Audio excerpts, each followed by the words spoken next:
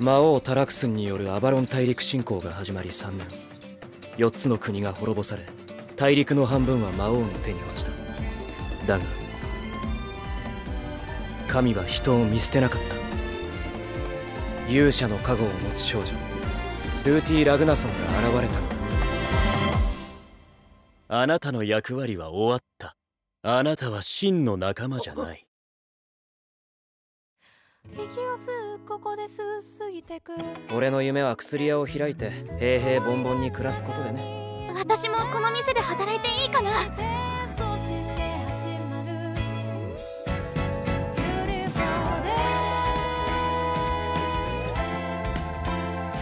ルーティーにとっては重しでしかありません。前はこうではなかったんだ。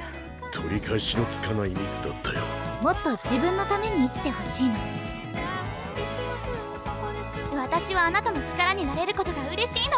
僕加護なんていらない。この世界は戦いに満ちている。勇者様はどこか行きたいところはあります私は勇者。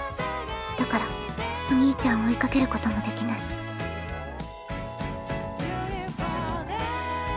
こうして俺のスローライフが始まったんだ